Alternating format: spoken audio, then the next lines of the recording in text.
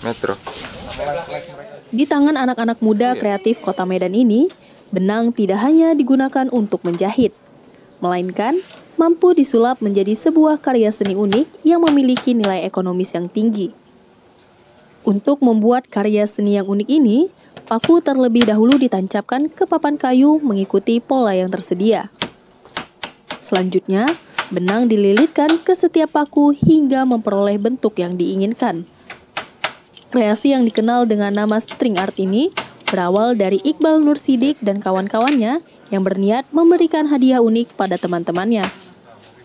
Setelah belajar secara otodidak dari berbagai sumber referensi, Iqbal dan teman-temannya akhirnya berhasil membuat string art. Saat ini string art ini dapat berupa tulisan dan gambar berbagai objek.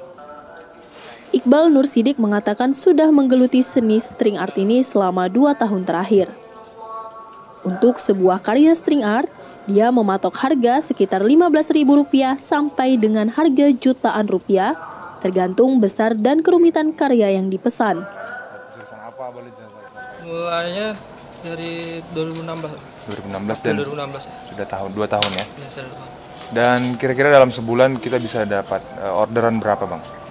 Mungkin 10 sampai 20 order lah sebulan. Untuk dari harga sendiri bang, kita boleh harganya berapaan sih dari mungkin dari yang paling murah sampai yang mahal? Oh, yang harga sih kita ada yang terkecil itu gantungan kunci ya, Hmm. 15 ribu lah itu. Kalau yang paling besar ada satu buat kayak di kafe buat tulisan sekitar 2 juta lebih. Untuk memesan karya seni string art ini, Anda dapat langsung mendatangi lokasi tempat pembuatannya yang beralamat di Jalan Halat Gang Damai nomor 21, Kota Medan atau menghubungi lewat media sosial String Art Medan. Tim Liputan Kompas TV, Medan, Sumatera Utara.